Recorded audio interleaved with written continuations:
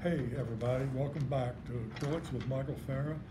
Uh, today, I was gonna start one of the color value chroma charts, and how I got started was, I made this little chart, and it's half-inch tall rectangles, and there's twenty going down and twelve going across, and, and we won't use all of them, but basically what we're gonna be doing is mixing color from the left going towards the middle, using, say, yellow here and violet here.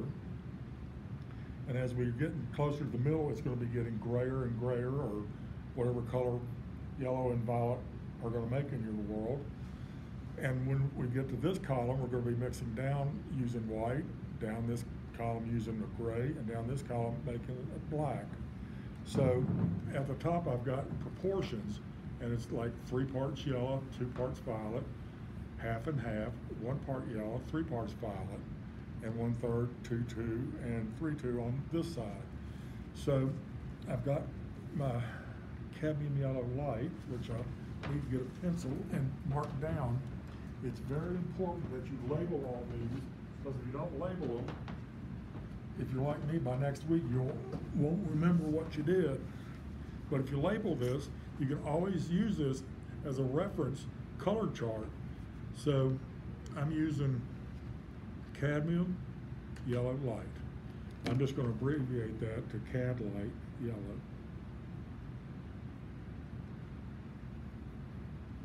And once I get on the violet side, I'm gonna have to mix up my violet, so I have to put the ingredients I use to make the violet.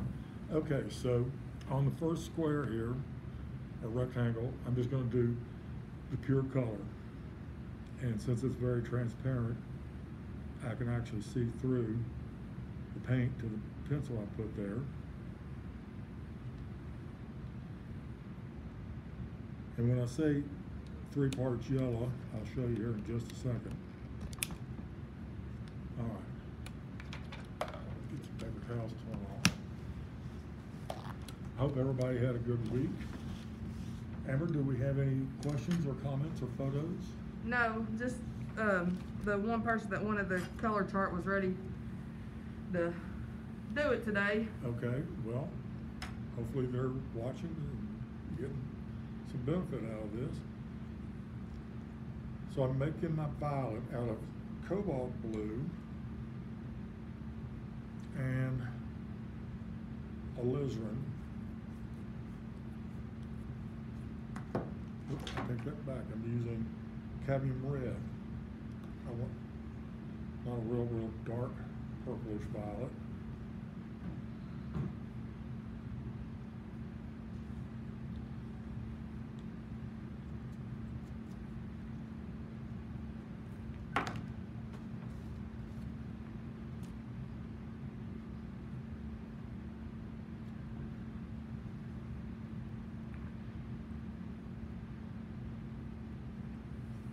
So I'm using a mixing knife, painting knife, whatever you want to call them.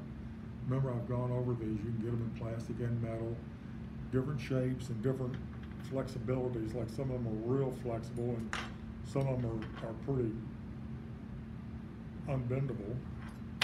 So it's just, you know, get a couple and try, try those and see what you like. So I'm gonna take just a tiny bit of this. That's about three parts yellow to one part violet.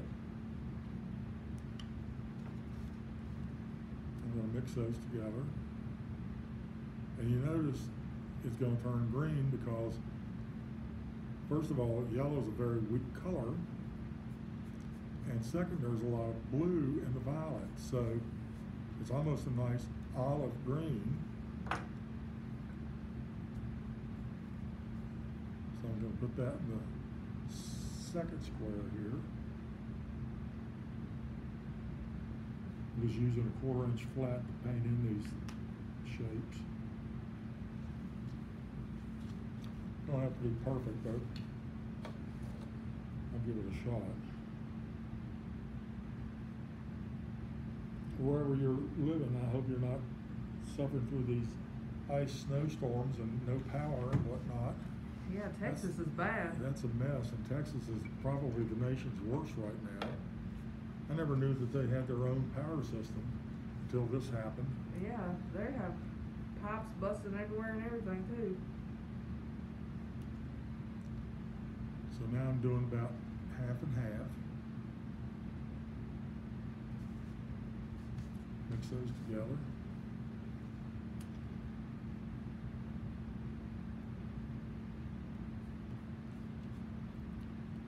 And again, the, the violet is just overwhelming the mi- yellow mixture, which I expected.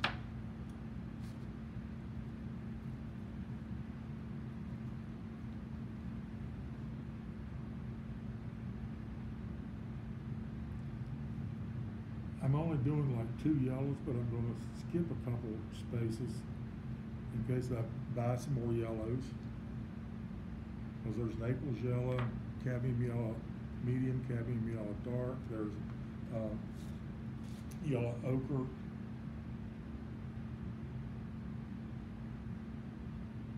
They all have their different properties. There's also, uh, raw sienna, which is like a transparent version of yellow ochre, which is sort of a wheat color. So here comes a third of this green mixture and two thirds of the purple.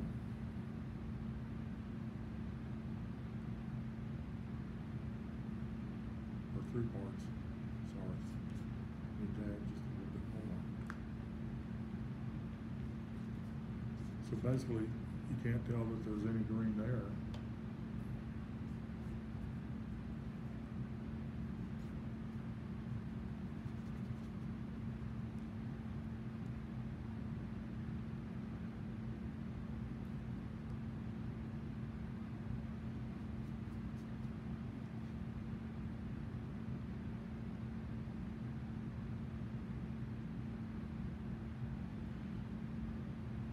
Why this is handy, it will save you in a lot of color replication questions you'll have down the road. But again, if you don't label it, it's not gonna do you any good. Unless you got a photographic memory or something. I've only met two people who've had photographic memories in my life.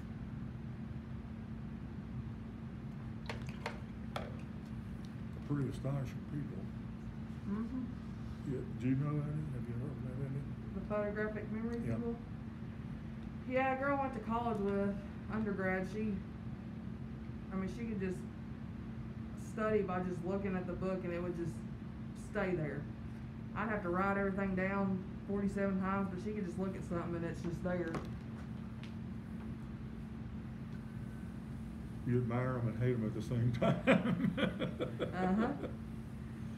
Cause I'd have notes and notes and notes wrote out and she would just verbatim be able to tell me what she just looked at. I'm like, how do you do that?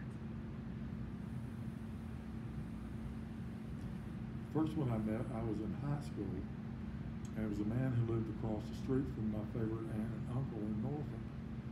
And, um, he was a middle-aged guy who worked for the government in some secret branch of the government. Building he worked at was like two or three stories tall and about the size of a football field, and it didn't have any windows. And he couldn't tell anybody what he did. So I have no idea what he did. But, uh, he made a lot of money doing whatever he did. Okay, now I need to make up a gray, so I'm actually gonna squirt out a little burnt umber. And gonna mix that with the cobalt, so it's not gonna be a real, real dark gray. I also went to high school with a guy who was, um, he had some sort, some form of autism and he, um, he remembered dates like crazy. And he, if you gave him your birthday, like mine's May tenth, nineteen eighty-five, he could pop off and be like, yep, you were born on a Friday. Wow. Like, just know it. Wow. I've seen, um, various guys or, or, or people on shows like, you know, the Day Show or the CBS Morning Show or whatever, who are artists, who probably can't find their way home, but they, no, seriously, but you, you put them in a situation for like fifteen minutes looking at, say, New York City, and they can go back to their abode and draw every window, every chimney, every water tank in immaculate detail, like they were looking at a photograph and copying it, but it's all in their head. It- Uh-huh. You know, they just went click with their mind and it's all up there. Yep, that's crazy. You know, the mind's a funny thing. All right, I've mixed up a dark gray, almost black, so I'm gonna take some white and some of this and mix it together. So I have sort of a dove gray, we'll call it.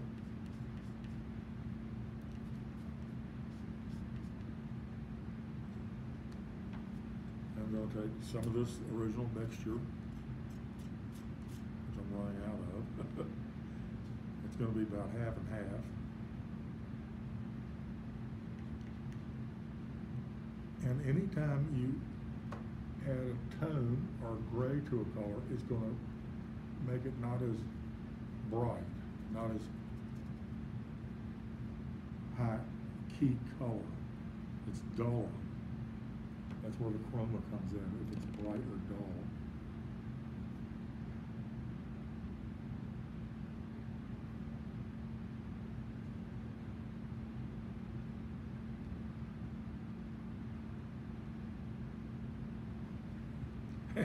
Had some excitement right before I went to bed last night. Um, she always takes the dog out during the day, and I always take the dog out during the night. Well, last thing last night, I was taking him out, and hadn't even gotten to the steps. We have a, lot of, a little stoop, and he saw some deer about a second before I did. And I had the handle of the lead wrapped around my right wrist. Well, he takes off running. Oh, Lord. The deer disappear. He drags me through the flower garden.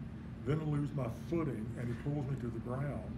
And our front yard, I laughingly call it the mountain, but it's about a 35, 40 degree angle, about like this.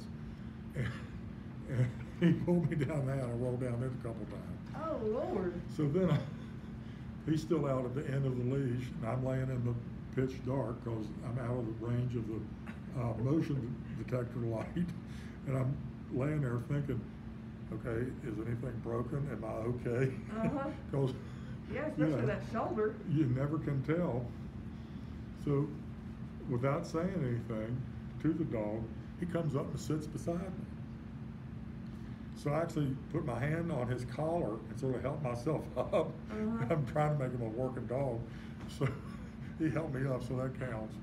So anyway, nothing was broken or bruised, but you gotta be careful, I guess. I'm gonna have to mix up a little bit more of this green. The same thing happened to my mom with their dog. It, she's part boxer and she saw deer and took off and my mom flew off the porch, like, into some like bushes on the, off the porch and her dog just came up and sat beside her like, I'm sorry. Dogs are funny. I- Uh-huh. I mean, I'll, I'll take them out and he'll just stand there and he'll, he'll stand there and watch planes fly over. He'll watch a bird fly over. Um, he's, if there's something different in the neighborhood when he first walk, first walks out, he'll bark. I mean, it could be somebody six houses up the street getting out of her vehicle and he'll bark. And I'll say, just let it go, just let it go. And he'll be quiet. But when he first sees it, you know, it's, it's not what he's used to seeing, so he barks. I tell the close-up neighbors, he thinks he's the, the governor or, or mayor of our street every time he sees something different. Do you have any snow where you are? No, not a flake. You? Us either. Uh-uh. Okay, so this is the black. And it's not quite pure black, but it's very, very dark green. And Of course, we always have a need for black green in the shadows.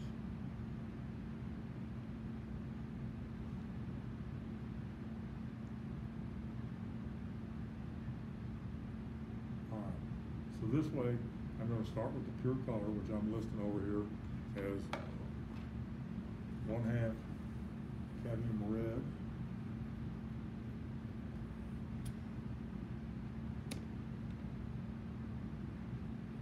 Medium and cobalt blue.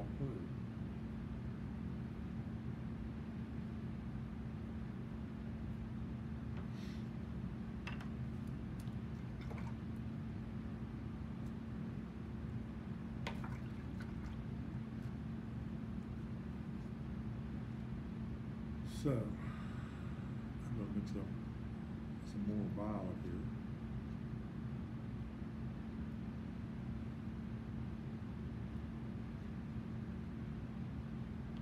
Of course, you can have red violet or blue violet, I'm going for somewhere in between. I think that will work.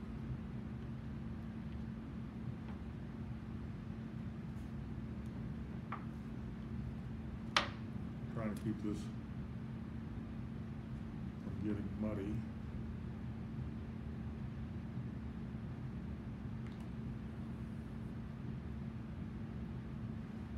Sometimes you mix up violet and it's so dark it looks like black. What you can do is just add, you know, like a itsy bitsy little bit of white and it will make it look more purple. I'm still gonna have to make up more green here.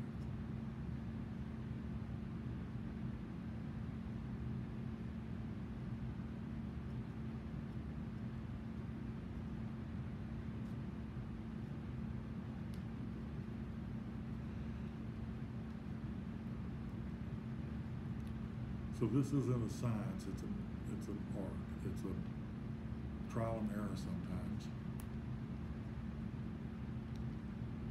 But doing one of these charts will help take the guesswork out of mixing colors. So this one is one part, I'm sorry, two parts green.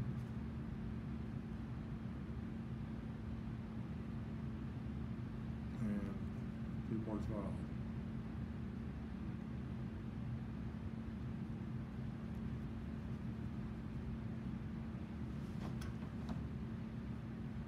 If you've ever wondered, you know, what happens if you mix this color with that color, this is one way to find out.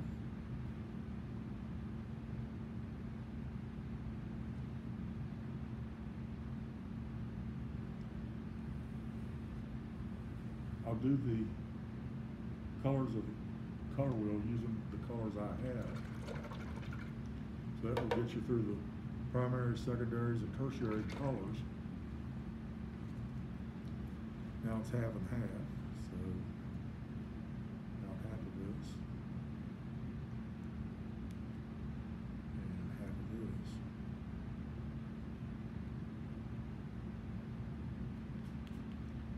of this. For eggplant. I love eggplant. Um, eggplant's very versatile. It, it's sort of like a, a sponge. It, it absorbs the flavors you put with it. Kind of like mushrooms. I mean, I wouldn't just sit down and eat mushrooms. I wouldn't just sit down and eat eggplant, but I like eggplant parmesan.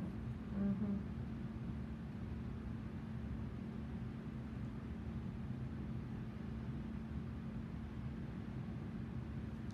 father made good eggplant parmesan.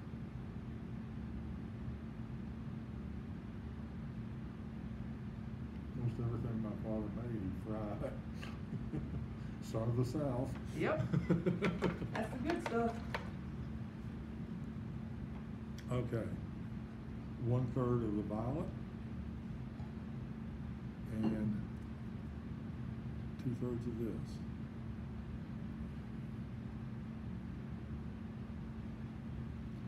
So we're sort of getting back to the brain, maybe.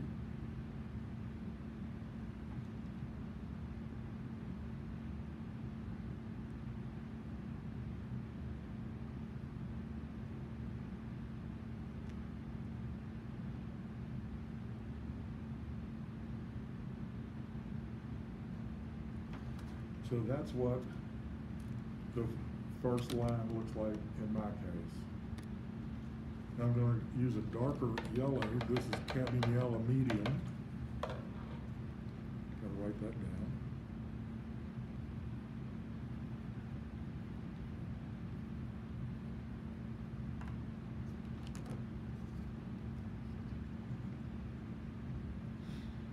I'm using this piece of white paper as a palette, just so hopefully you can see what's going on a little bit better.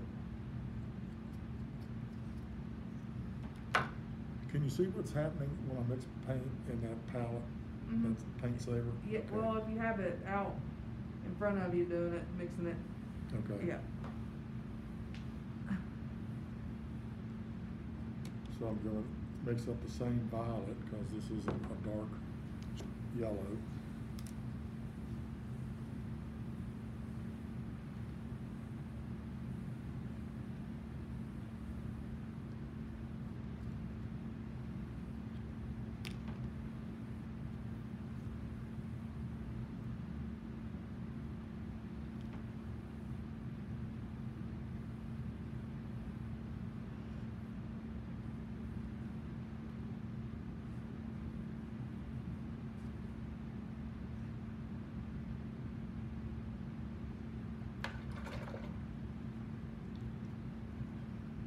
So to get my violet, I'm just gonna do about half and half.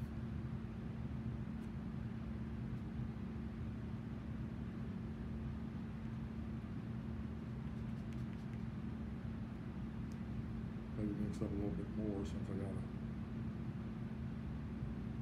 use it all the way across.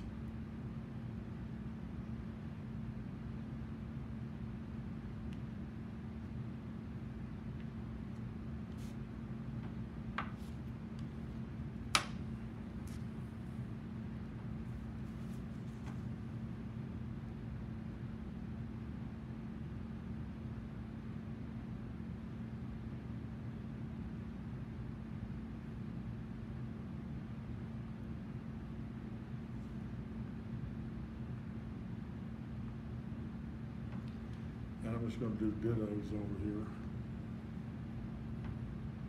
Cause it's the same colors. Okay. Taking my pure yellow and adding some complementary color to it. I'm gonna end up with that green again, but a different shade of green. So this is basically three yellows and one violet.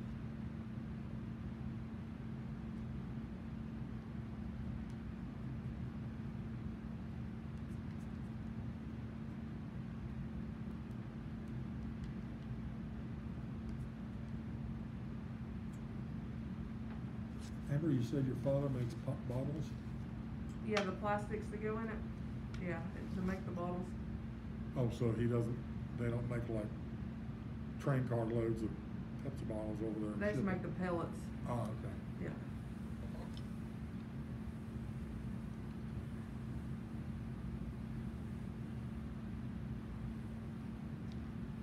The pulp paper mill close to where I used to live makes, um, this type of cardboard Oh, yeah? for like juice boxes and, and cartons of cigarettes and that sort of thing. It's called bleach board. They sell it all over the world. They make rolls that, uh, are about this tall on up to eight feet, I think. They gotta be carried by forklifts. My brother-in-law, he was at Domtar Paper Mill, but they shut it down. That's no good. When COVID happened, Excuse me. they're trying to convert it now from white paper to brown paper. And possibly be rehiring in the next couple of years when they do that.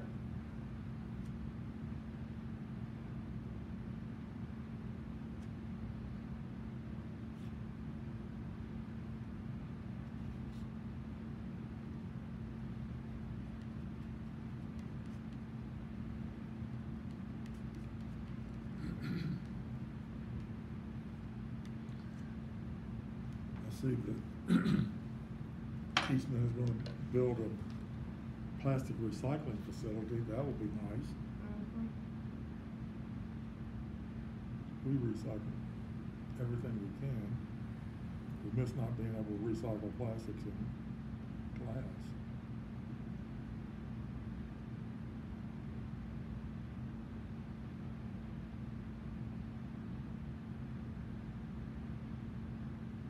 Okay. Moving right along. One part yellow and three parts violet.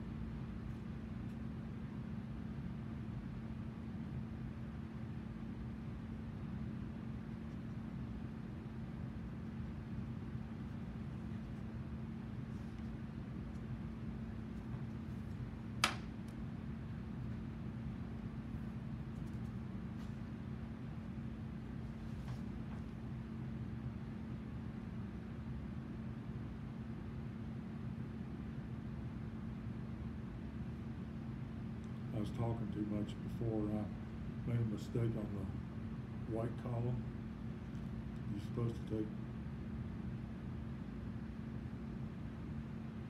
the last color in this column and add white to it. So I'm gonna take that color, I'll go back and do the other one a minute.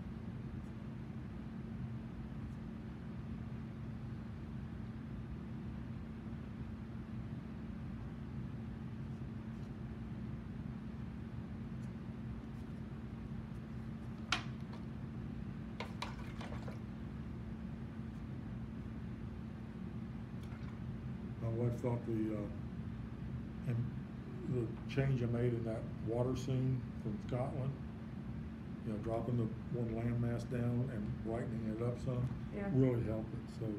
Mhm. Makes me feel good when I get more than one pair of eyes on something.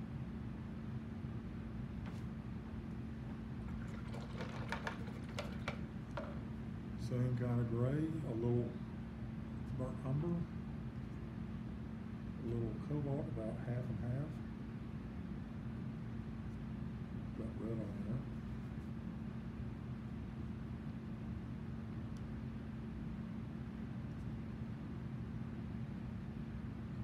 very dark, so I'm gonna lighten it up some. Just cut some off. I'll lighten that up.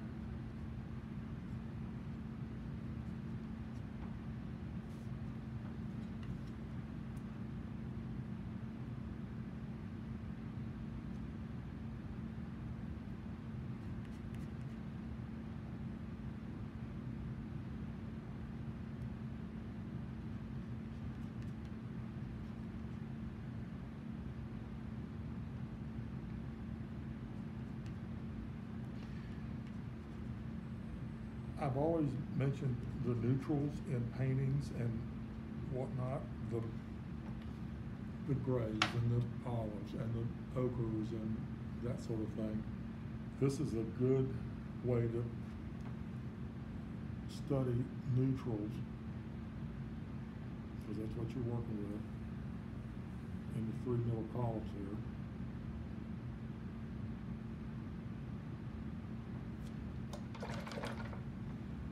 I black to that. Got the black right here.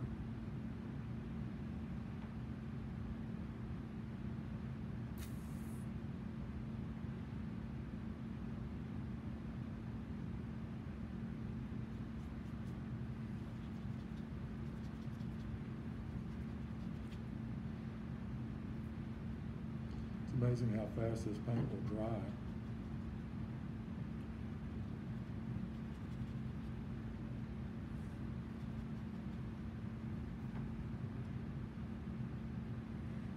Hearing that conditioning run or whatever makes me sleepy.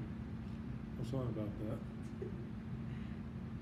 Cause I sleep with a box fan, so I'm, like, if I hear any sort of type of fan noise, it like puts me at ease and I'm like, ah, White noise will do it for you, huh? yep. I slept with a fan my whole life, cause my parents have.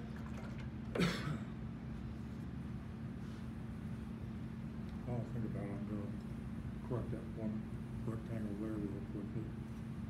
So I'm gonna take yellow and three parts of violet, which I'm gonna have to make more of anyway.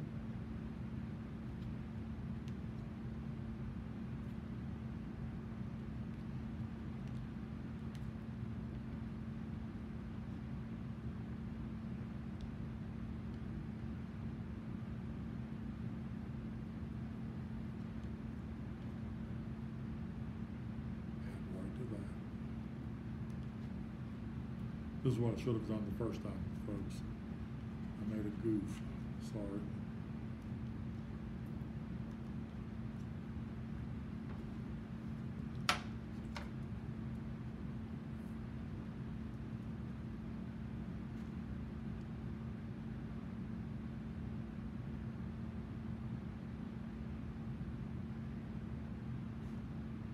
Okay, that's corrected.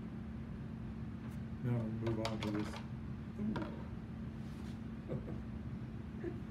Laid my sleeve in something wet. Sorry, we can paint over it.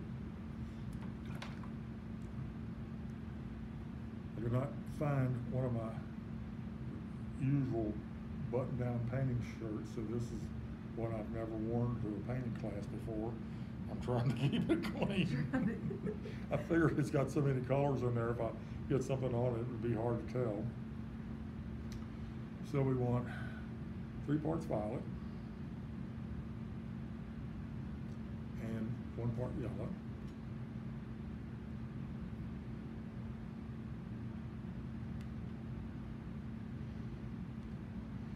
Started another series on uh, Netflix this week called uh, The Forest.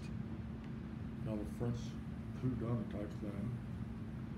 Pretty interesting so far.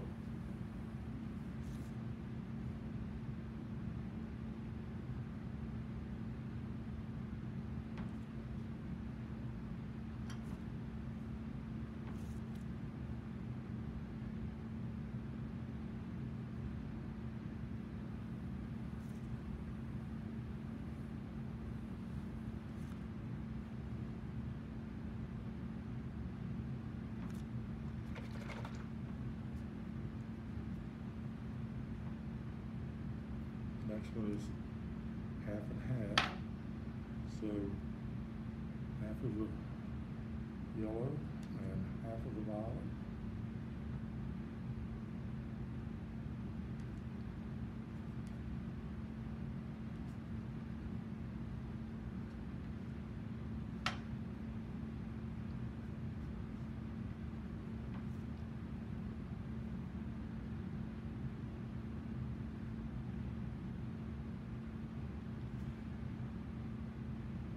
I'm gonna do one more line and then I'm gonna get to painting. I think I can paint quicker than I can do this. Okay. This is one violet and three yellows. Violet right there. And squirt out a little bit more yellow.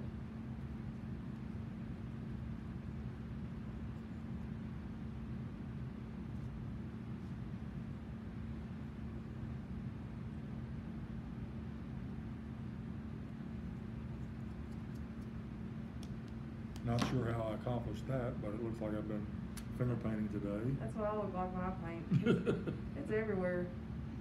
Like it ends up on my face and I'm like, I have no idea.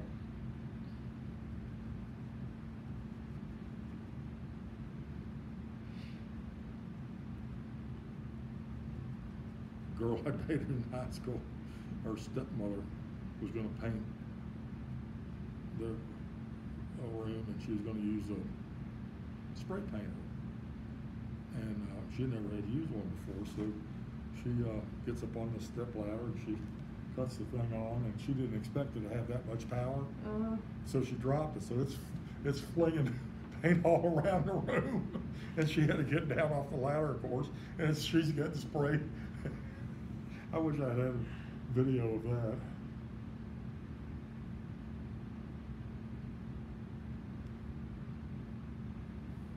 And of course, the gal I was dating didn't like her stepmother anyway, so we had a good, good chortle about that.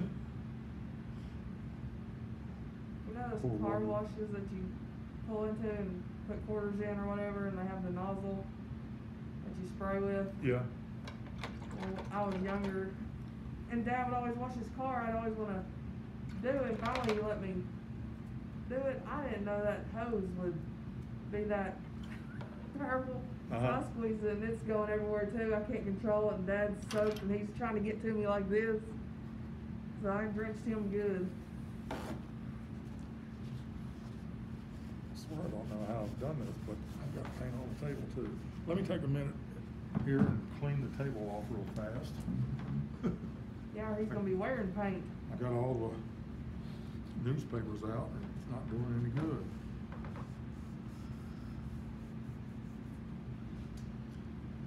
Another good reason to have some rubbing alcohol on hand. It just cuts right through this stuff.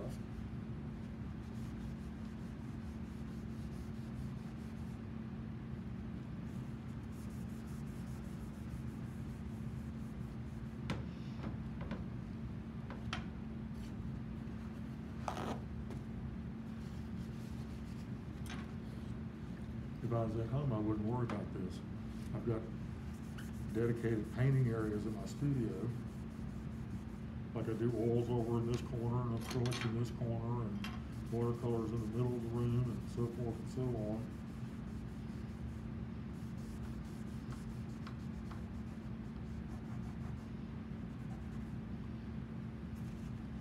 Whoever buys their house is gonna wonder, what on earth do these people do? Cause you got stains here and stains there and paint everywhere.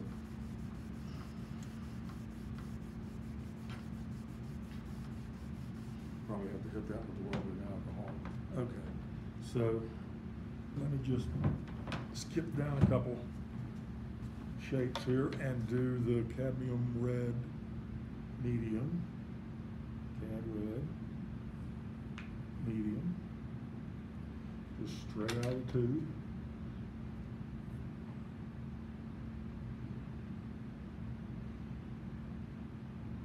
And again, it's transparent enough, you can see the writing I did first.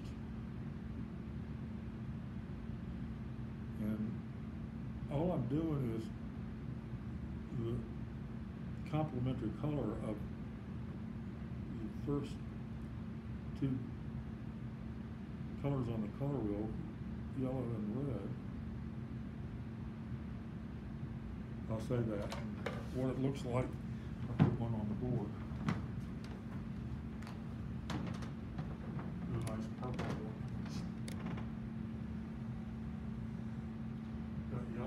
Top, red over here, and blue over here. All the way across from yellow is violet. And if you mix blue and red, that's what you're gonna get, is violet. If you mix yellow and blue, you're gonna get green. If you look all the way across the color wheel, there's red. They're complementary colors. You mix red and yellow, you're gonna get orange, and that's all the way across the color wheel from blue. So that's what we're shooting for. I'm not gonna do all those, but that gives you an idea. Okay, okay. So, I'm going to get a different sheet of paper. and Use some of these colors that have dried out.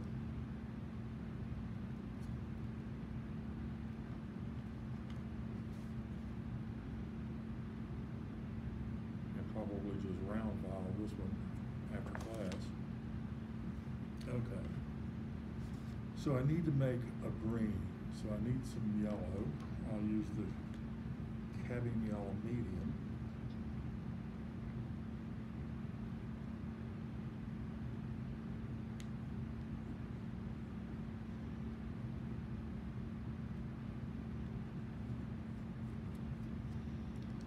So I'm gonna write that down.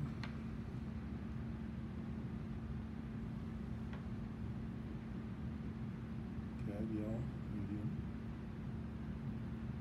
and cobalt blue.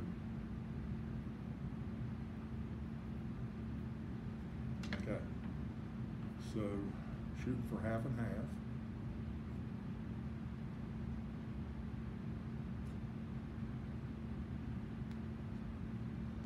Looks pretty green to me. So that will work. So, here we go.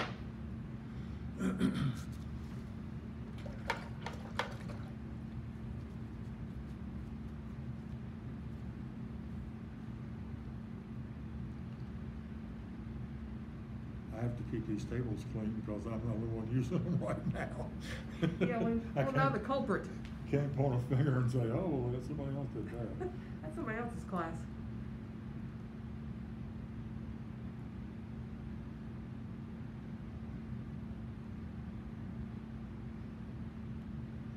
I told a lot of my students from Roanoke and friends who are interested in art about the, the web page or whatever, the, the site. They said that they're gonna watch and follow along, so that's good. Anyway, Yeah, we have a lot of followers on it. gonna have three reds and one green. These proportions never change.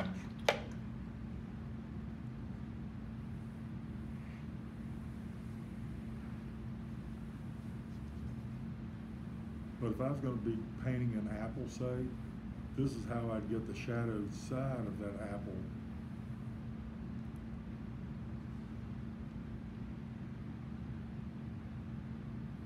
Because I'll show you the difference between this and if I had used black once I get over here to the black.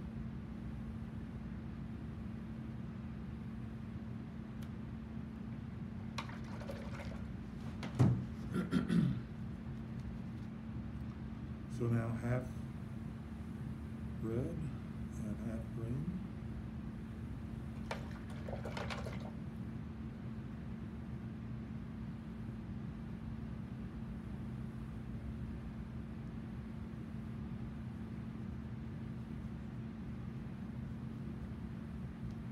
And it is a little bit darker than that.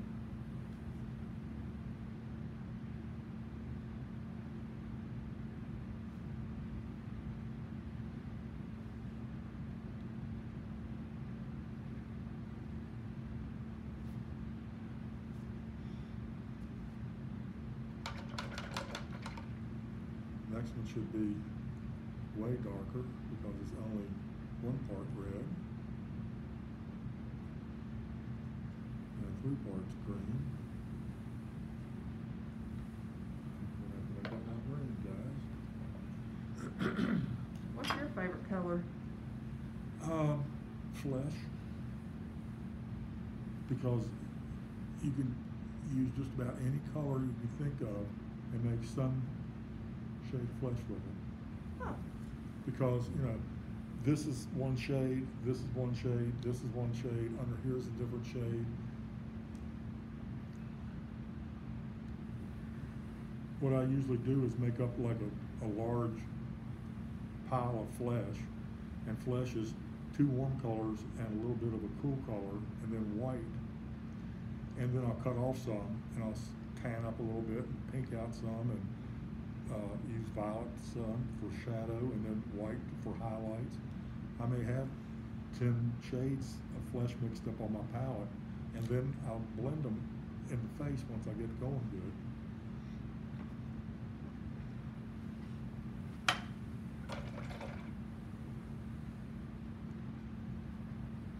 Okay.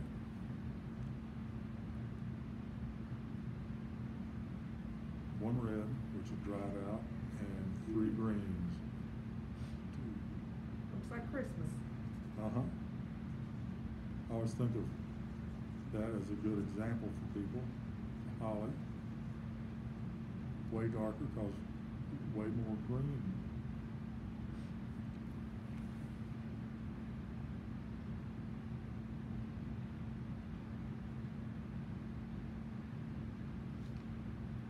I'm gonna take some white and add to this.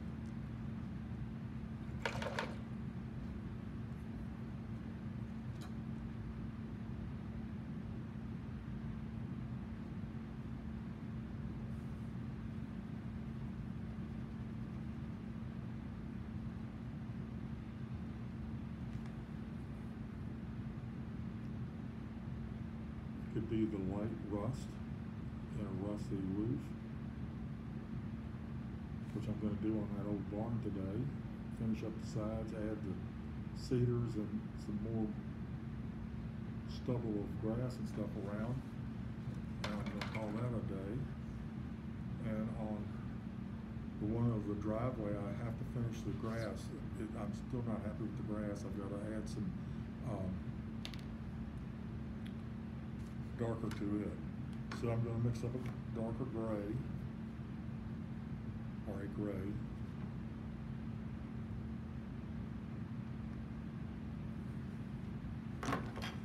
Good old cobalt, burnt umber.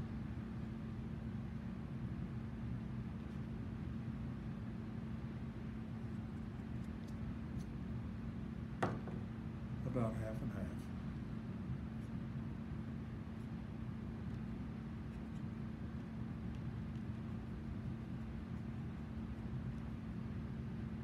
Actually gonna be my black. I'll Leave that like that, cut off a little bit. Add white to that.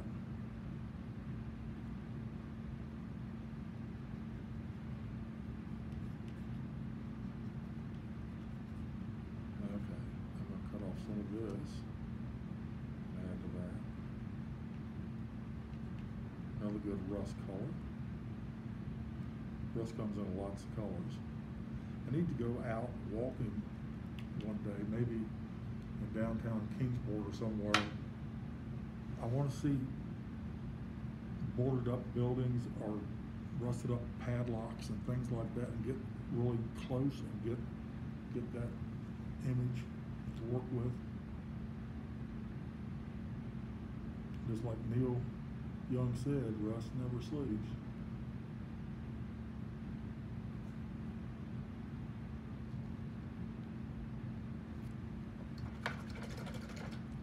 So I'm taking that last color here, I've added white and I've added gray, now I'm gonna add the black.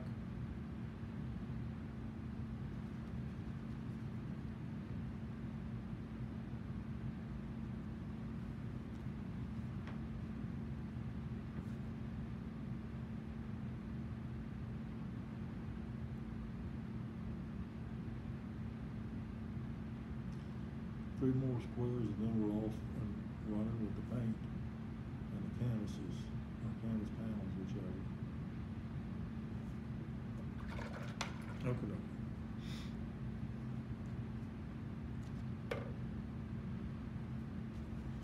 So I got three parts green.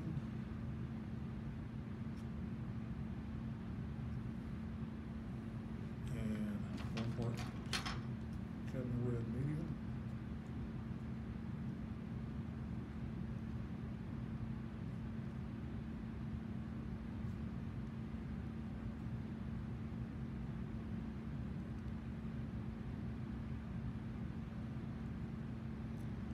It's imperative that you get the lids on straight so your paint doesn't dry out.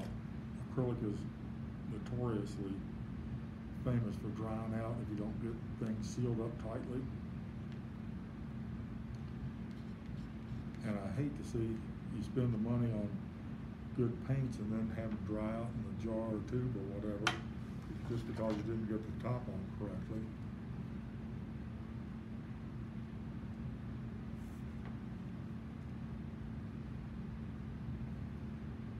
Try to put my pencil lines in pretty lightly. I drew this earlier today. A couple places they're so light I can hardly see them.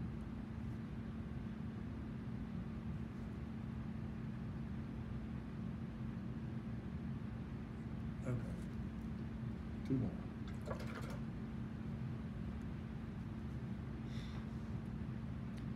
Two parts green,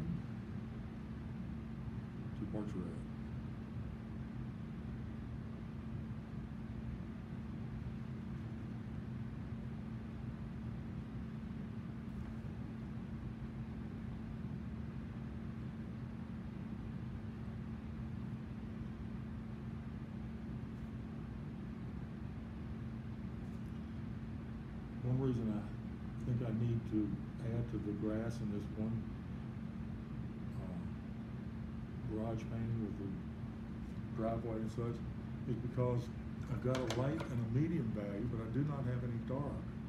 And the dark is necessary to cast a shadow where I put that red light post last week. Okay, three parts.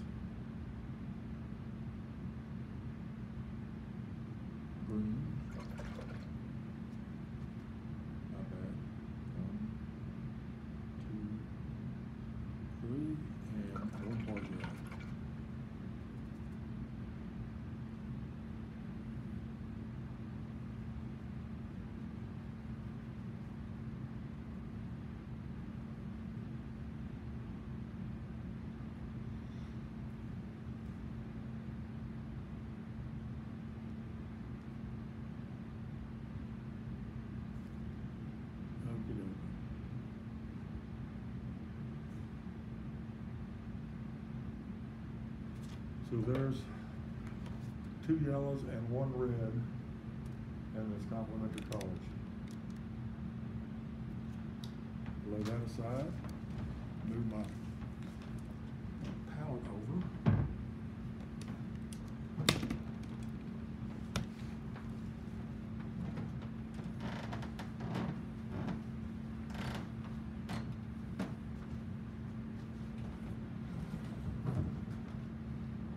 About here, Randy? Yeah, that'll work. Okay. So anyway, I wanna finish this garage thing first and say this will last, cause this is one of my favorites so far. Save the best to last.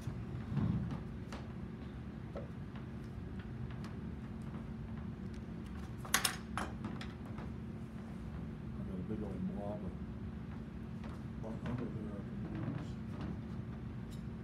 And a pretty good chunk of yellow.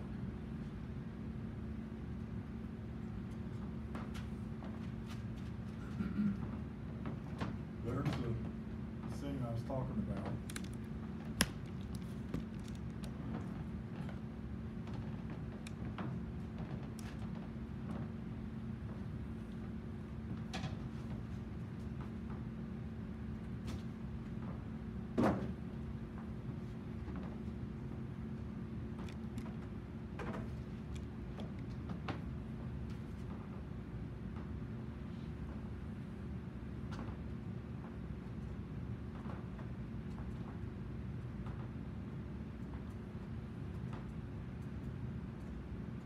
Another good reason to have some dark grass in this area here is because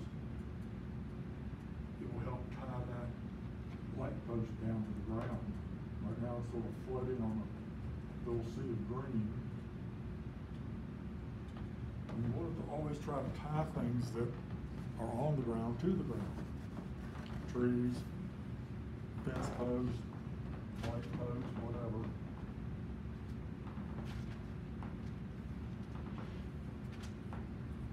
So I'm gonna grab a rigger and proceed to do that. And again, you have to have the paint at the right consistency to use this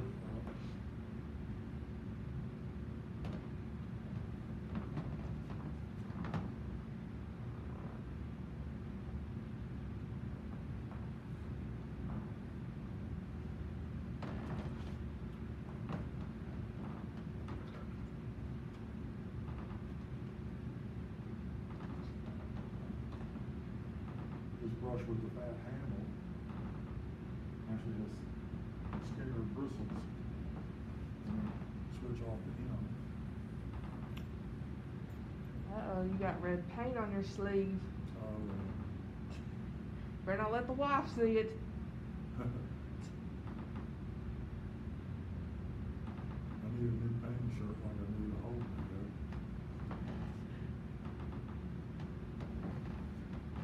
This shirt's gotta be about five, ten years old, so I'm not worried about it. I'm not gonna put a thousand blades of grass in here that I did last week, I'm just gonna put some of these in at random to help give a sense of some darker growth.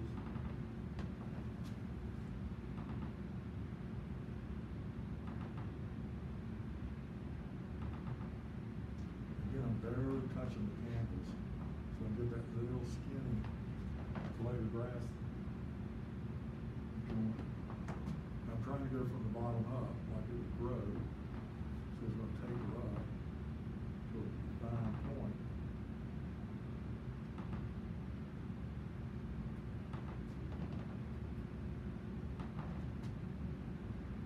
Be a little thicker here in the shadow of the lamppost thing.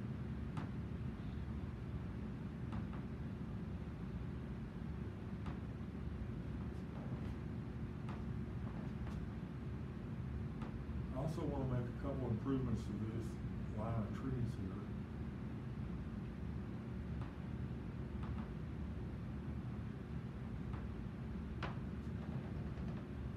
Other than that, I think this will be finished.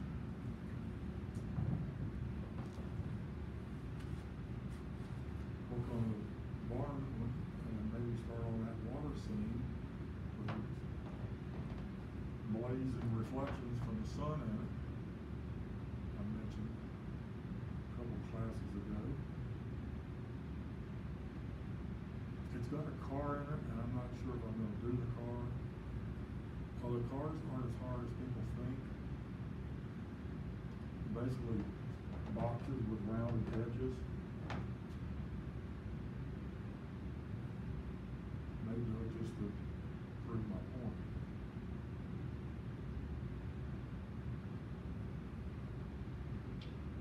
I don't wanna sound sexist, but most women don't do cars in their paintings. I know that they aren't interested in them, or they don't think that they can do them, or what, but you go to an art show and you see paintings of cars, they're probably done by a guy, or guys.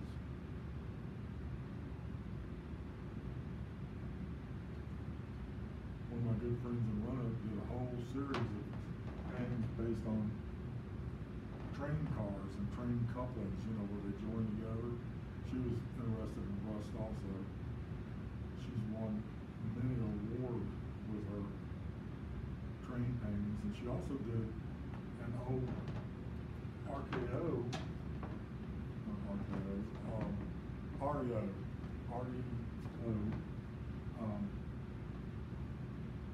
truck. So.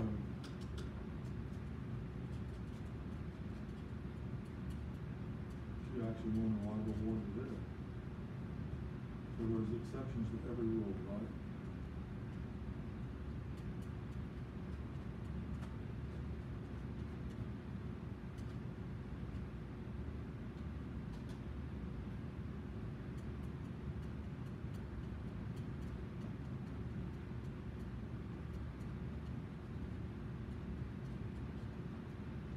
I'm making it a dark color. A little bit of green, a little bit of blue, a little bit of brown. I'm going for the value more so than the color.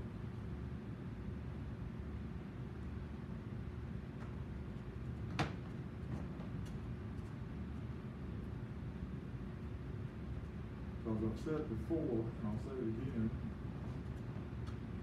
it's the right value, you can probably get away with it. That's why you have purple trees and weird colors in unexpected places if it's the right value. And the value is how light or dark the color is. So this is basically just a dark.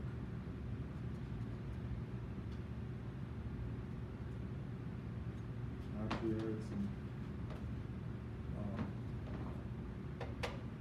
alizarin to it.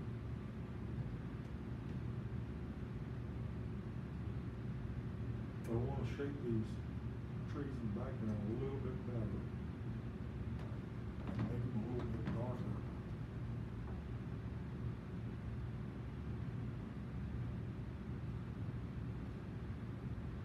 I don't clamp this panel to the easel, it scoots around on me.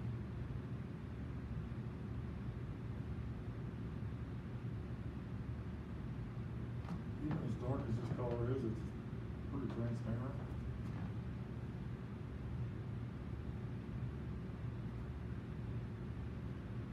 You look at an old master's painting up close,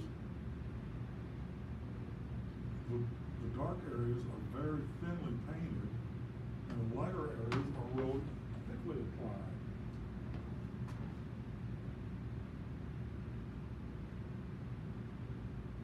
And in the old days, they did not have titanium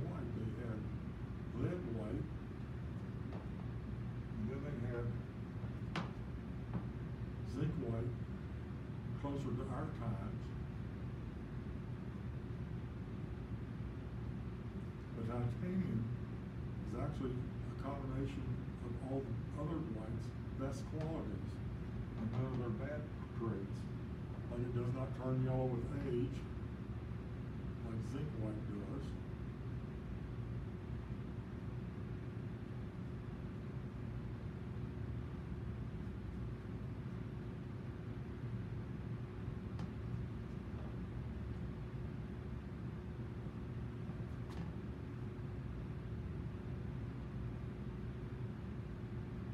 And titanium, when it comes out of the ground, is actually a very light tan.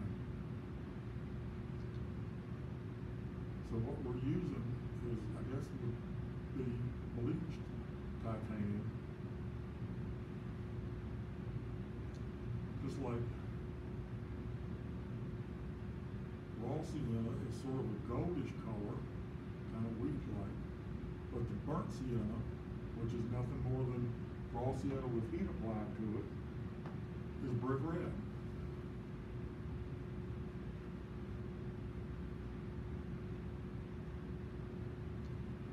To dig the, the rare, the, the elements used in umbers and siennas up out of the ground in, in Virginia.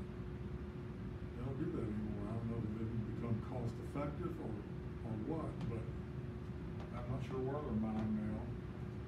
They're considered earth colors because they are natural to the earth. They're not man-made. Like your phthalo blues and greens and such. They're chemical colors a laboratory somewhere.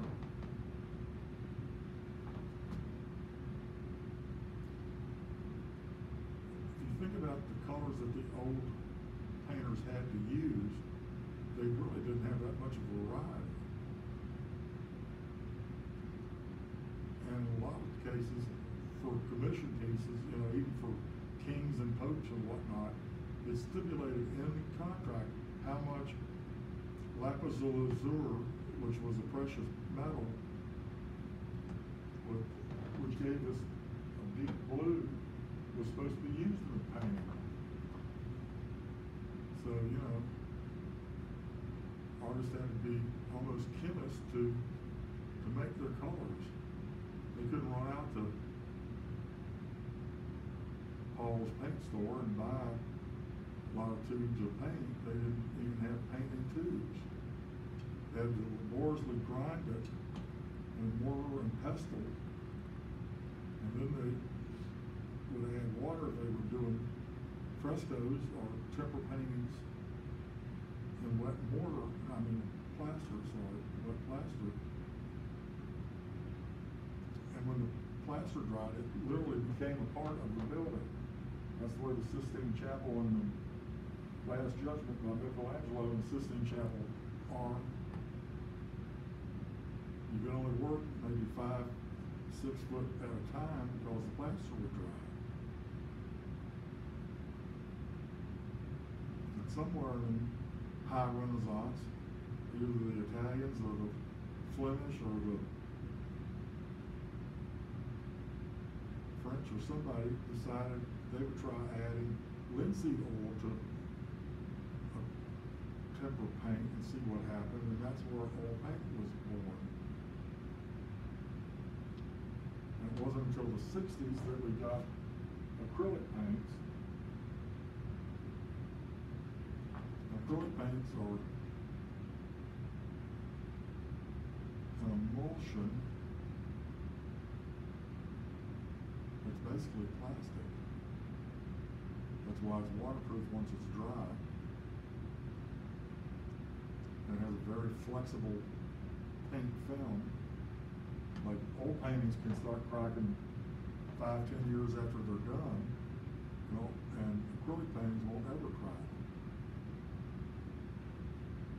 Unless you use a cracking, crackling agent in there when you mix the paint and put it on the painting. It's one of those additives I went over in one of the classes with, um, a catalog. You can buy that stuff at Michael's or Hobby Lobby or some Ben Franklin's. All mail order houses have it, Dick Blick, Daniel Smith, Cheap Joe's, Jerry's Artarama. By adding this dark, or making this darker, it ties this, this, and this together. I think this is done, what do you think, Amber? Better? Nice. Thank you. Okay, now on to the barn.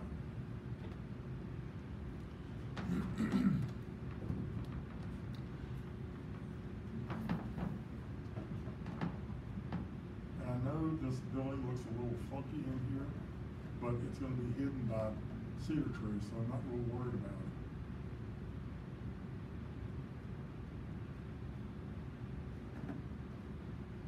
So I've gotta put some like scrub weed type things in here, the cedar trees, the shadows of the cedar trees, and all the boards here.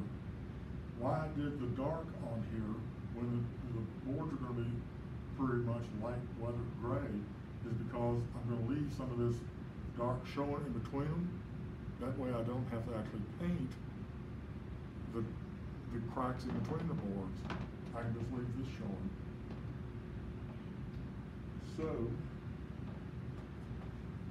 here's the picture I was trying to find.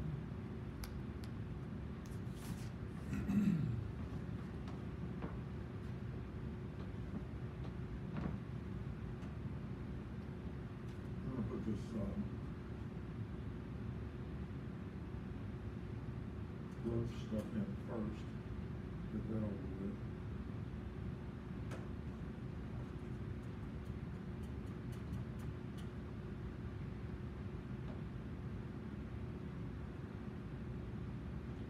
And being in the dead of winter, it's not gonna be real colorful, it's not gonna be.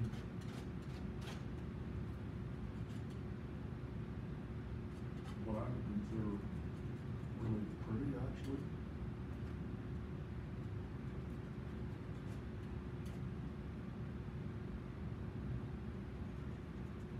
It's basically kind of a mud, you mix too many colors together and then add white to it to get the white value.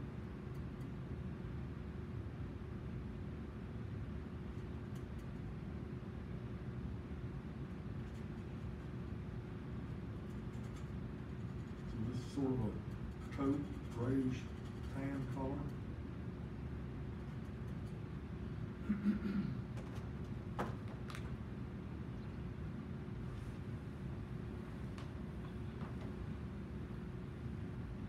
Time again.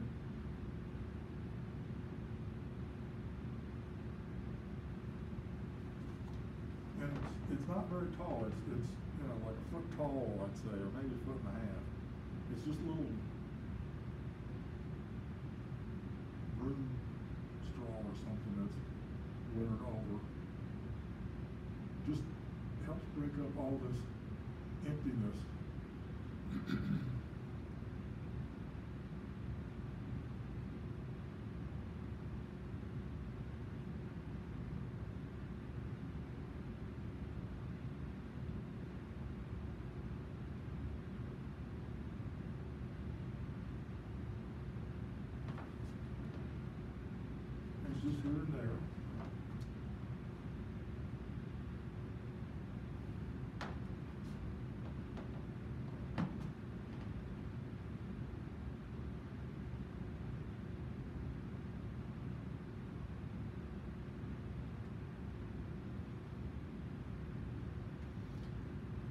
before class started, I was looking at the photograph and looking at the painting. And the photograph has more trees than I put in there, but I think I've got enough. So I'm going to leave that like it is.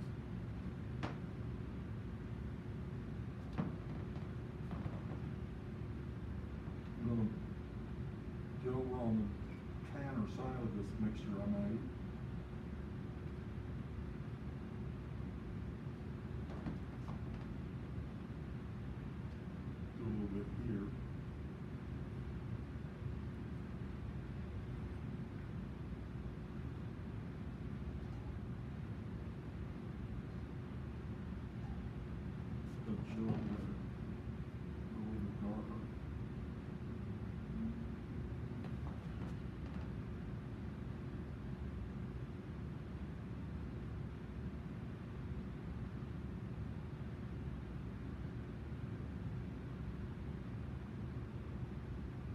this stuff that the sheep haven't eaten yet.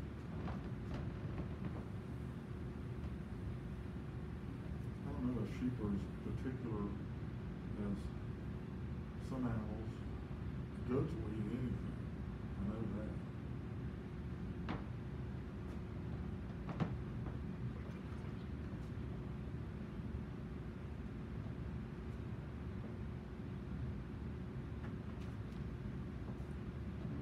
same like we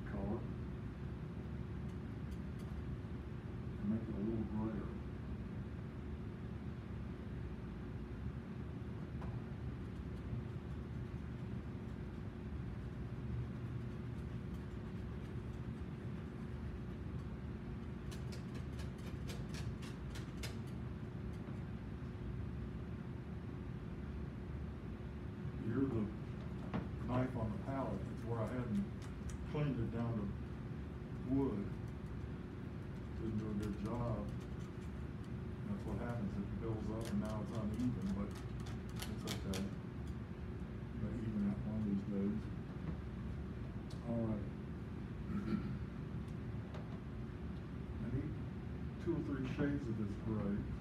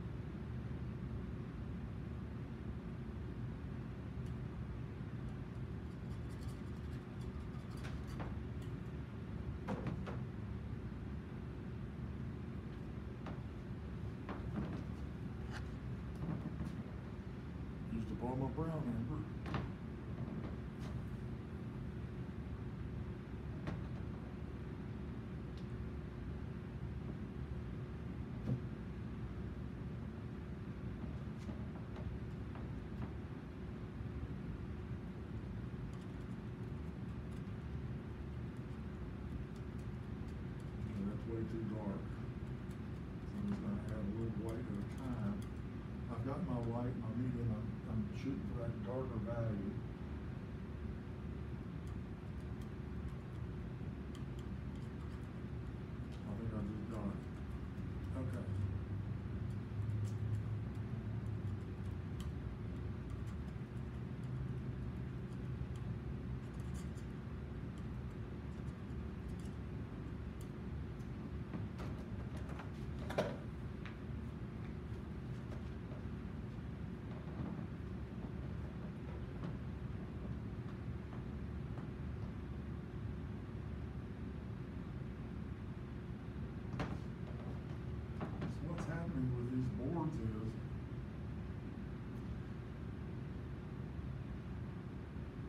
sort of dark underneath the eave here.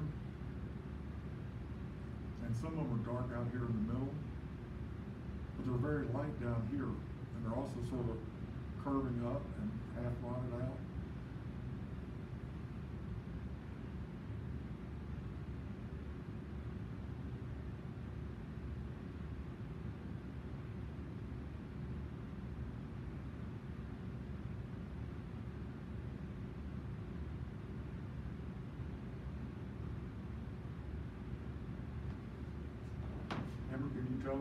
Space between those? Yeah, you can see Okay. it. Excellent.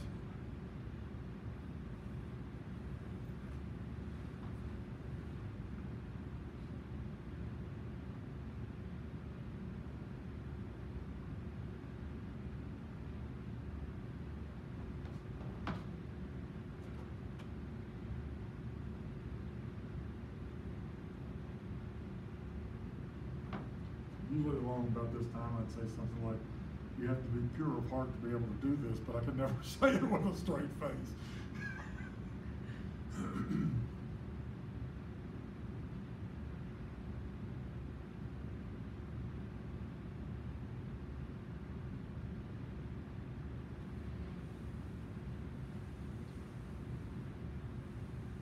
Why I'm doing the side before I do the roof is because the roof is gonna stick over the, the side some.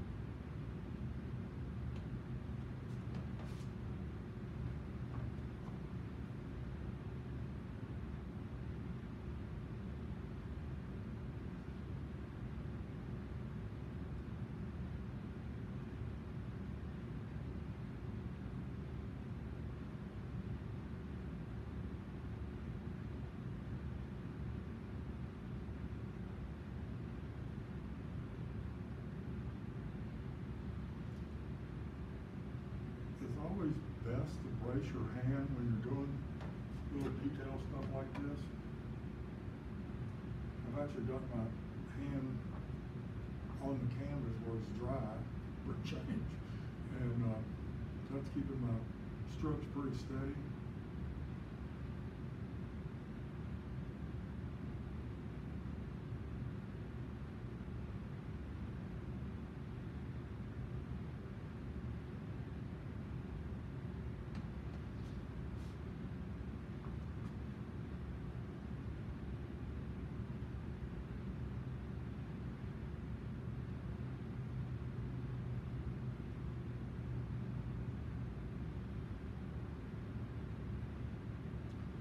I'm assuming that because of the roof overhang, that's why some of these boards are darker than the others. The sun just couldn't get to them to fade them out.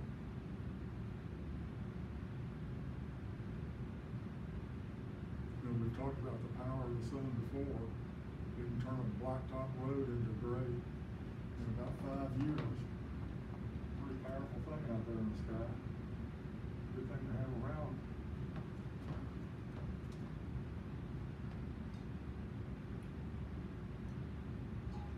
I remember when I was in elementary school, they said, well, you know, the sun's gonna burn out. So I was a little alarmed by that. And then they said, it's gonna be about three million years from now. So I went home, my father said, you know, what did you learn in school today? And I said, the sun's gonna burn out. I waited a while and I said, in three million years? He said, I don't think you have to worry about it. Uh-huh. Pretty hard to fool my father about anything.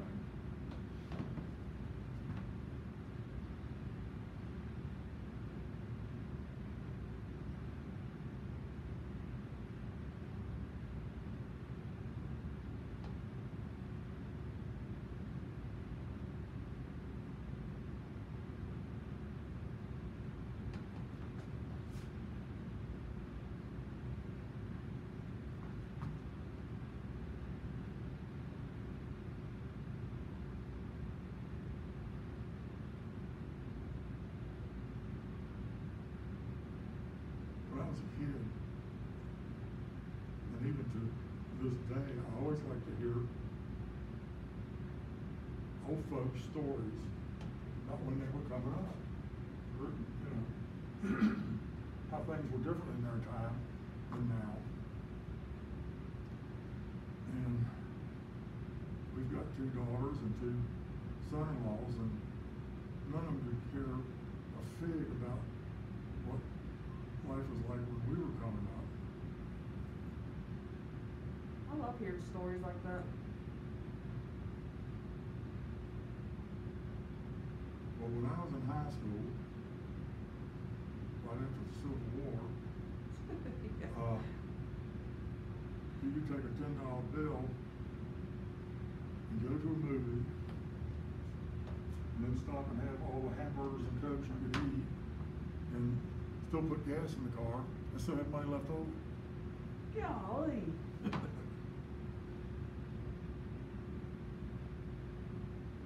Now you can't hardly get milk and a box of cereal for ten dollars. I know. I don't know why cereal is so bloody expensive all of a sudden. I know.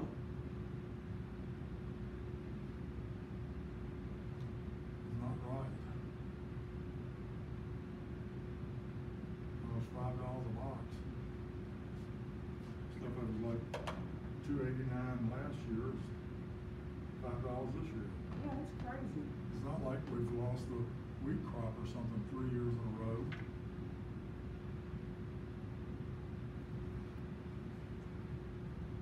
You we don't even use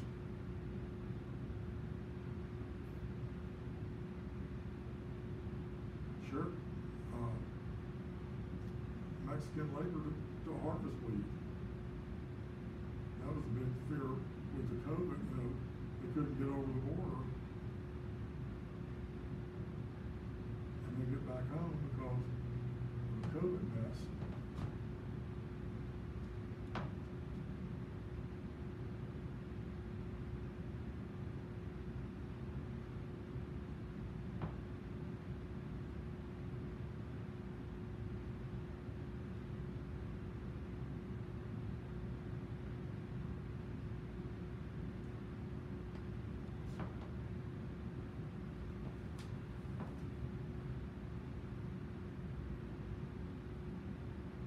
This way sure beats having to paint in those little skinny lines in between the boards.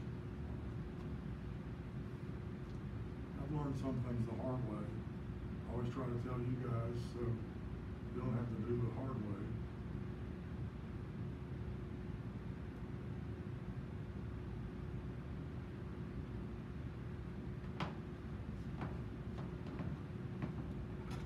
I had a friend who was a, a painter. And she did a complicated design with watercolors and gold paint on cloth. I knew this woman for ten years or more, and she would not tell me how she did her process. She thought I would steal it. You know, you know, our work was as different from the moon as from the sun. Uh-huh. I was just curious how she did it. Yeah. But she was from Pakistan. And people from other countries are so inhibited and, you know, been under the governmental thumb for so long, they don't trust anybody. Mm-hmm. Worked in a convenience store run by an Indian one time.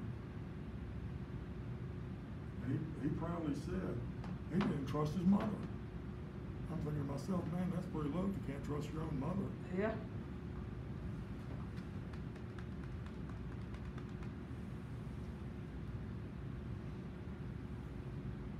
Do a couple gray boards on this side. Then they'll switch the roof.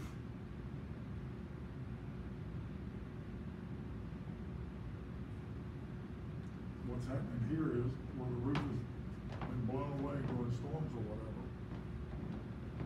I think this is too sharp of a contrast. I need to mellow that out a little bit. I even have to step away to see that.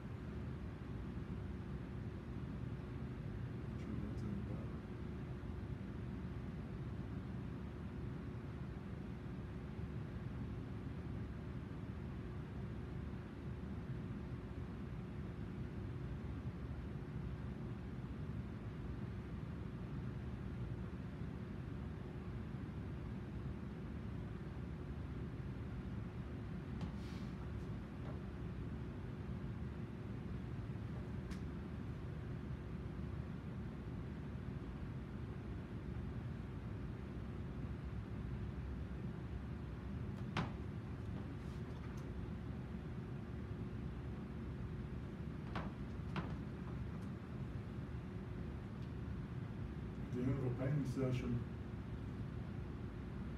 the sludge at the bottom of my water containers is sometimes a quarter of an inch deep. All the paint that gets out of the bristles, it just settles at the bottom.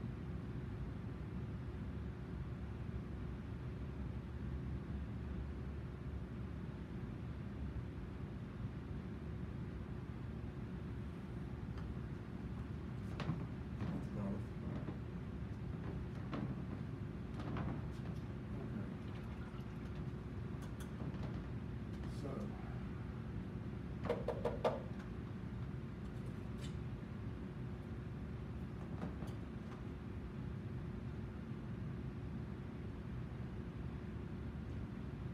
Quick way to make some rust is to add red and brown. And then white to get the right value. I've got this grayish tan here, I'm gonna use it.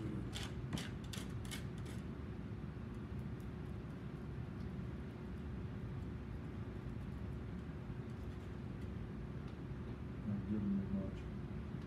I'm gonna add a little white over here.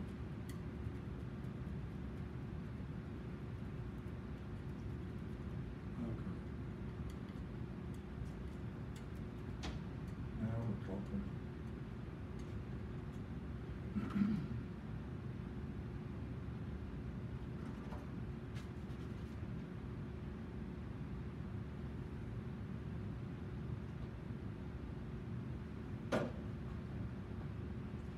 And since these pieces of tin are put in at an angle like the roof, that's how I'm gonna do my brush strokes.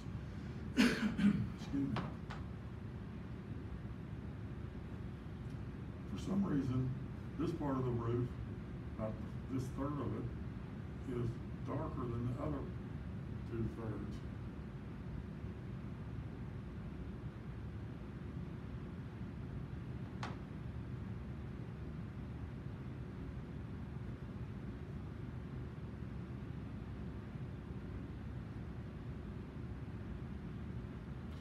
What happens is, windstorms come along and, and get under a piece of this tin and just peels off like a lid of a sardine can.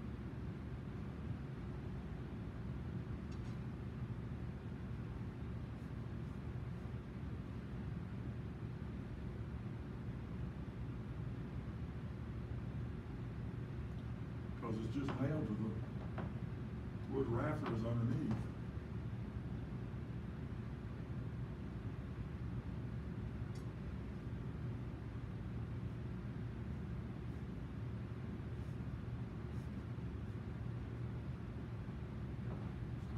Switch off to my river.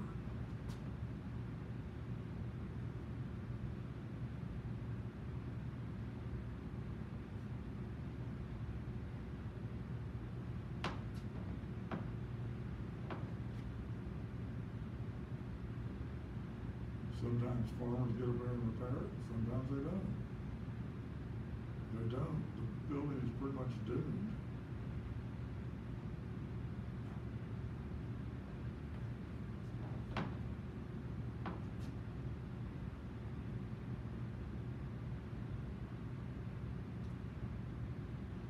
We've talked about how hard it is to farm and running B and B before. And you're working three hundred sixty-five days a year. From sun up to sundown and then then some.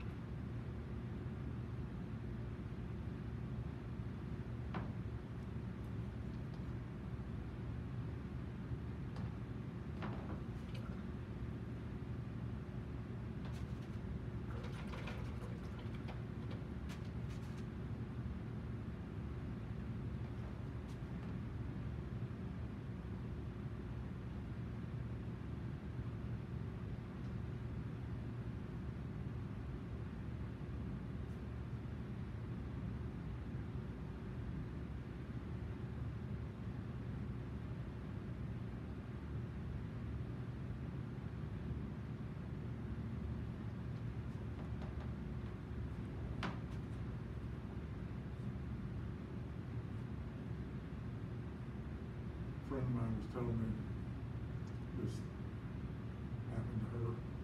She cleaned houses for a living. And they were usually elderly people that she cleaned for. And it was out in the country somewhere. And, uh, I don't know, say it was Tuesday afternoon, and every Tuesday afternoon she went to this house. And an elderly man lived there who wasn't in, the greatest of health. Well, they were supposed to take Uncle Ray or whoever to the doctor that day. So the man's only relative, his niece and her husband, came to get him to go to the hospital. The doctor's office, wherever they were gonna take the guy. And lo and behold, halfway to the car, he gets sicker. By the time he gets to the car, he's dead. Well, the niece freaks out. She asks for my friend's help. So she said, I don't want him in the car. I want him in the house. So they get a kitchen chair and they take it out to the car and I don't know where the nephew had gone, but anyway, the, the two women put Uncle Ray in the straight back chair and they're struggling. They take him back in the kitchen. And my friend says, well, you gotta call the sheriff, you know, man's dead. And she said, well, I don't know what to do. And she said, you gotta call the sheriff. So she said, you know, it's bad enough that we've moved him from where he died. You gotta let him know as soon as possible. So she finally convinced this woman who was near hysterics to call the sheriff's. So she finally called the sheriff's department and said, well, you know, my Ray died and, um, he's here in the house and I'm kind of freaking out and all this sort of stuff. And he said, well, we'll send an ambulance and a deputy out, which they did. And they found old Uncle Ray. They had propped him against the wall, in a straight back chair, like he died that way. The, the cops never did find out that he died in the, ch- in the car. And I don't know, if the wife told the nephew about it or not, but it made a funny story the way the, uh, my friend was telling it, because, you know, she's motioning all around, and she gets excited and all this sort of stuff. I thought it was a funny story. Bless his heart.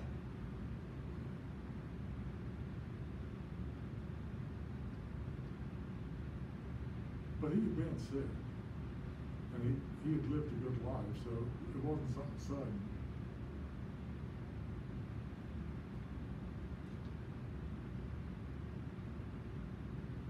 It wasn't like she was driving a Lexus or something, I don't know why she didn't want it in her car.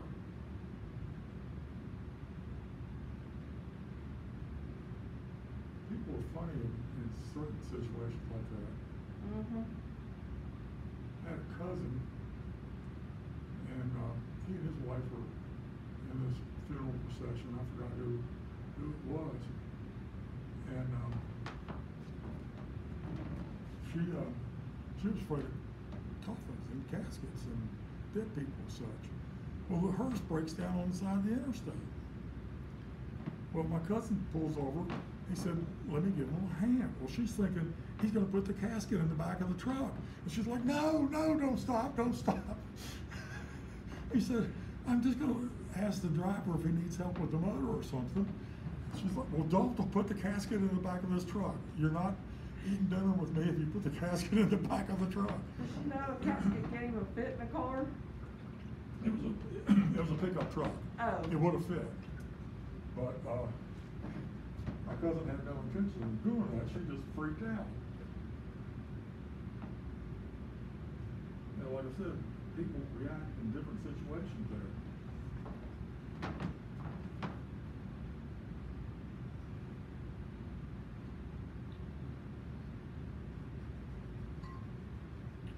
I had another friend who'd been a teacher all of her life, and even when she was teaching, she helped make meals for the needy at her church. So somebody asked her to do a dinner for two hundred or something. She said, okay. And my wife at the time said, are you crazy? That's two hundred people you gotta feed. She said, that's nothing, I'll feed two hundred fifty every week. So, you know, it's all relative, I guess. Yeah, my brother-in-law, he's probably the most masculine dude you'll ever meet. You know, he's got the beard, chews tobacco, all that good stuff. But if he sees a spider, like you'd swear he wears a skirt.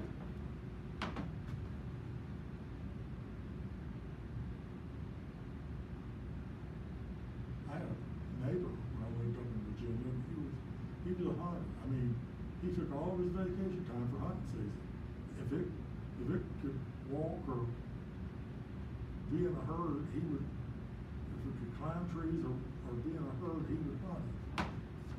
And, uh, he was definitely afraid of snakes. And he was standing in his yard talking to my father in his yard one day, and a pine snake fell out of his pine trees in between them. He took off, jumped in his truck, and rolled the window up. Yep. What a great outdoorsman, right? Yep. Yeah, he'll get my sister or me or somebody to kill the spider. He's like, uh-uh. You wouldn't like it in my bathroom. I don't know what it is about my bathroom, but since I've lived there, which is only about four and a half years now, I bet I've killed thirty spiders. Little ones, big ones, you know, I get the nest down, I get the cobwebs down. We've got ten foot ceilings, so that's not the easiest thing to do. Yeah. But I go in there, and there's two or three in there, so I kill them, wash them down the drain. Huh. I don't know what to do. They're not in the rest of the house like that. My bathroom's clean. But they're like these two corners over the tub, shower. Like the moist areas, I guess? I don't know.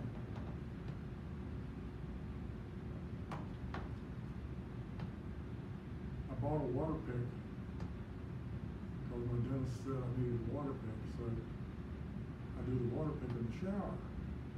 My wife knows how many spiders are in there, and she said, you better not be shooting those off the wall with a water pick. I had been. She can't tell though. It'd be a fun little game to play. My roof is leaking onto my side here. That was a little too wet. That will happen. That's gravity. Gravity will hit you every time.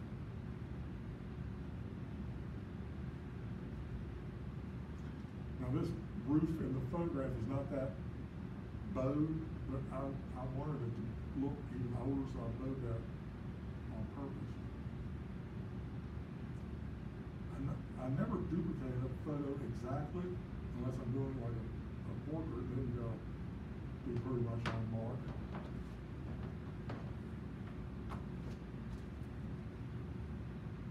But, um, to use photograph as a starting point.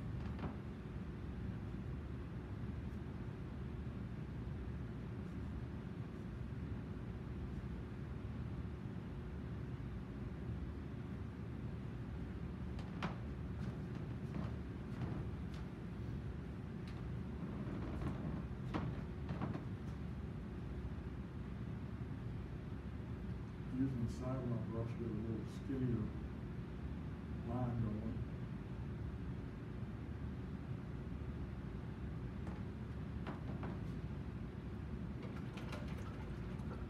Okay, now for the cedar shadows.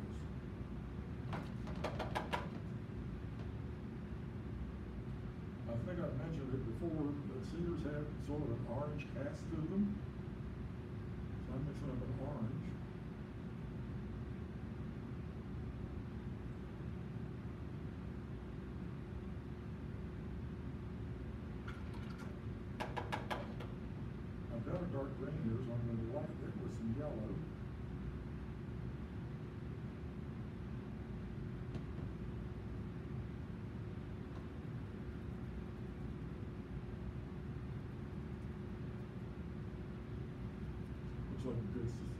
cedar color to me. Now, I think I've also mentioned before that cedars are sort of flame shaped.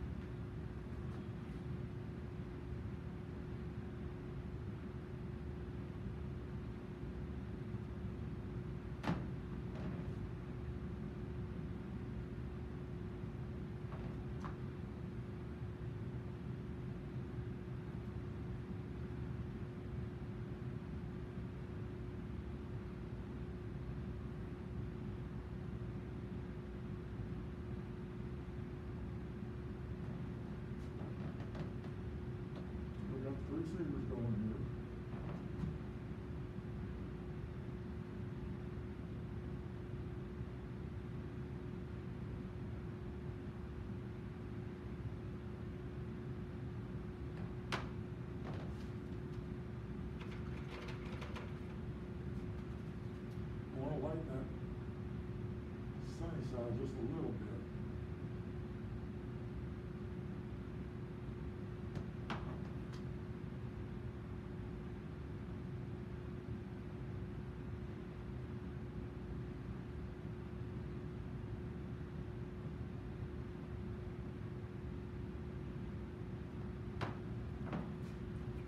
the dark side.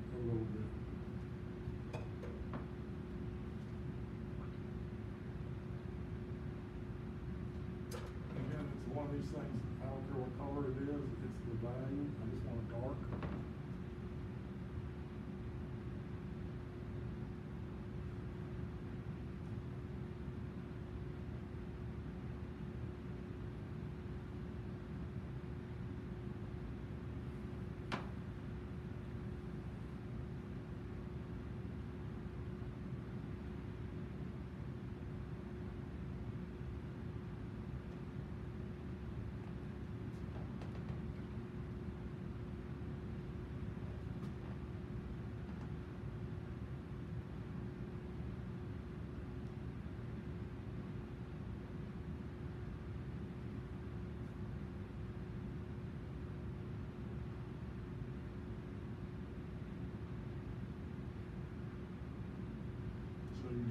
from one from the other.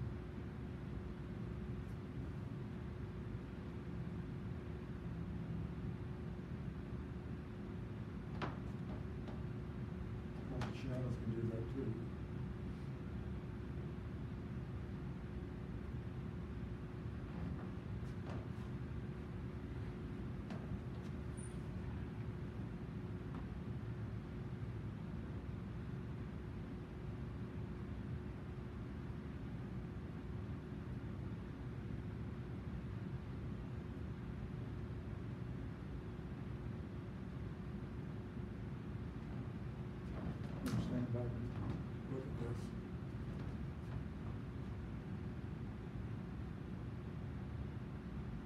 I like it. You like it?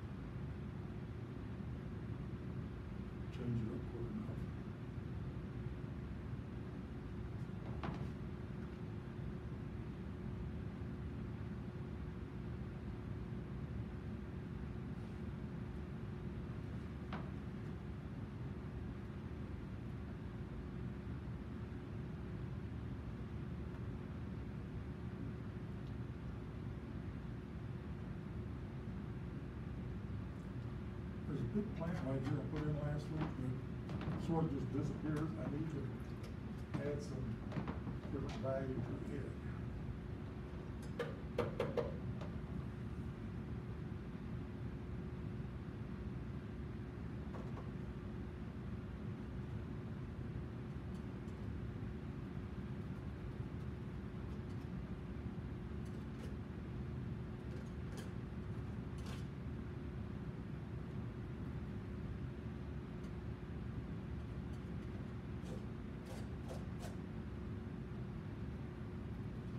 to it. I often look at my palette and think, my gosh, you got some really ugly colors. How did you do a, a painting that looked like that with all these ugly colors? Oh, well. Famous story about Philip Pearlstein. He was a New York painter who did uh, nudes, very naturalistic work. And he would have his models their positions until they basically passed out. And some art magazine wanted to interview him. So he, he, he sort of publicity shy, but he okayed this interview. So the writer got there and he wasn't impressed with the painting because, you know, they looked like photographs. But he was really taken by his palette. So he basically wrote the article about his palette. And of course, Phil Silverstein was mad that he didn't mention his work. He talked about his palette, which he, of course, you know, he wasn't impressed with. So it didn't look like anything. Can't please all the people all the time, I guess. Good luck.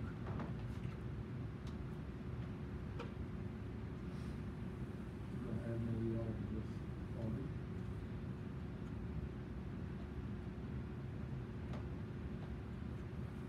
Since I put other colors in there, I'm gonna add just a little bit of white. I don't think I'm gonna get seafoam green or something.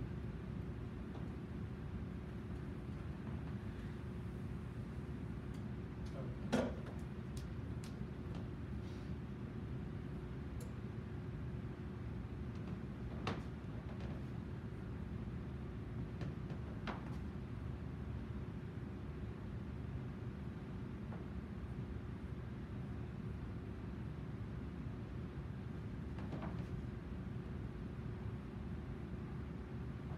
Well, I was actually shooting for darker, but this is lighter, so it'll work just fine. Would have painted last week would be a shadow. That easy to get along with.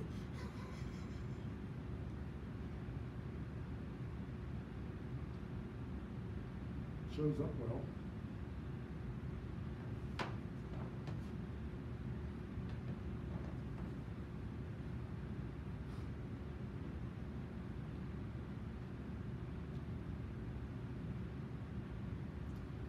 And in the photograph, there's like another tree over here that's got all these curving branches and stuff. I'm not sure if I'm gonna put that in. I have to think about that a week. Let me take this one home and study it in different lighting conditions and see if I think it really needs it.